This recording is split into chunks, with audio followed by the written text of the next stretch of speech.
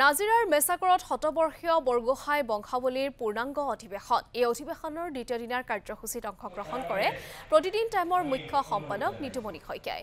সুদূৰ পাটকাইৰ পৰা আহি বৰ অসমৰ ভেটি গঢ়োতা চাউলুং চুকাফাৰ অন্যতম সহযোগী বৰগোহাঁইসকলৰ পৰিচয় কৰ্ম নিৰ্ধাৰণৰ বাবে বিশদ আলোচনা হয় এই অধিৱেশনত। অধিৱেশনৰ লগত সংগতি ৰাখি বানফি ফুৰ ফুৰালুং পূজা অনুষ্ঠিত কৰে।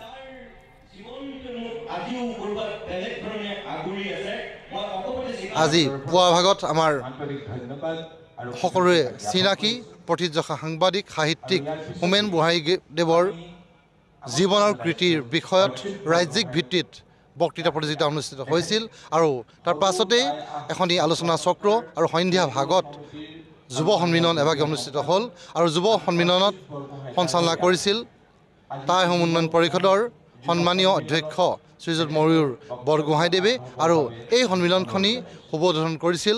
প্ৰতিদিন টাইমৰ জ্যেষ্ঠ সাংবাদিক মুখ্য সাংবাদিক শ্ৰীযুত নিতুমণি শইকীয়াদেৱে আৰু এই যিখন যুৱ সন্মিলন হৈছিল তাত আমাৰ বৰগোহাঁইৰ প্ৰতিভা সম্পন্ন বহুকেইজন ব্যক্তি অংশগ্ৰহণ কৰিছিল।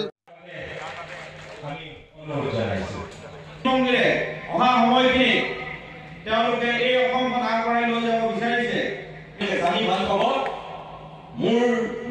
দেউতাক বাদ দি যাক মই দ্বিতীয় দেউতা বুলি গণ্য কৰোঁ যাৰ মুখলৈ চাই মই আশা দেখো যাৰ জীৱনটোৱে মোক আজিও ক'ৰবাত বেলেগ ধৰণে আগুৰি আছে মই অকপতে স্বীকাৰ কৰোঁ যিগৰাকী মোৰ দ্বিতীয় গুৰু যিগৰাকী মোৰ আদৰ্শ ব্যক্তি তেওঁ হৈছে হোমেন বৰগোহাঁই।